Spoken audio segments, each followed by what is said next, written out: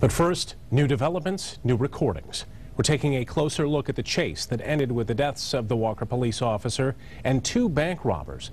And for the first time, we're hearing it through Ottawa County dispatchers, the voices of deputies in pursuit, and then the sound of despair. 24-hour News 8's Ken Kolker has our story. This all started mid-morning Thursday with this Be on the Lookout call. Armed robbery just occurred in Ravenna. Two white males, both showing long guns, robbed the ChoiceOne Bank.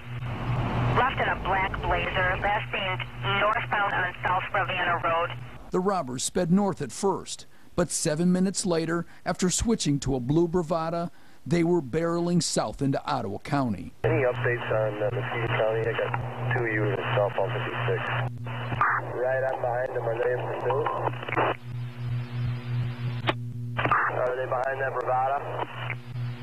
75, 75 behind the Bravada. 75, 75. Subjects are pointing a shotgun out the back window at state unit. They headed straight to Coopersville, Be advised they will have one M4 and one shotgun. then west toward the highway.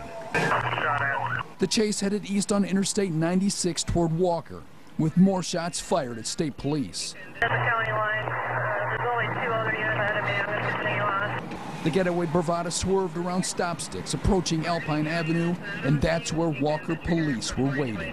Alpine go through the. Um, I looks like we're gonna have it on.